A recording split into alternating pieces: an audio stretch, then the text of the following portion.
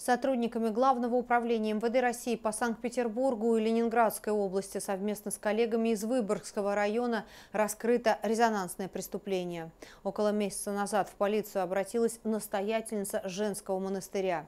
Игуменя сообщила, что злоумышленник проник на территорию храма в поселке Ленинское и похитил ящик, в котором находились пожертвования прихожан, в том числе кресты, цепочки и подвески из драгоценных металлов общей стоимостью около 3 миллионов миллионов рублей. По данному факту следственными органами полиции было возбуждено уголовное дело по части 4 статьи 158 Уголовного кодекса Российской Федерации. В результате оперативно-розыскных мероприятий в поселке Сосновый Бор полицейскими задержан подозреваемый. 28-летний неработающий мужчина проживал в доме своего знакомого, с которым ранее отбывал наказание в местах лишения свободы. Установлено, что на протяжении последних нескольких месяцев он находился в федеральном розыске по обвинению в совершении преступления, предусмотренного частью 2 статьи 228 Уголовного кодекса Российской Федерации.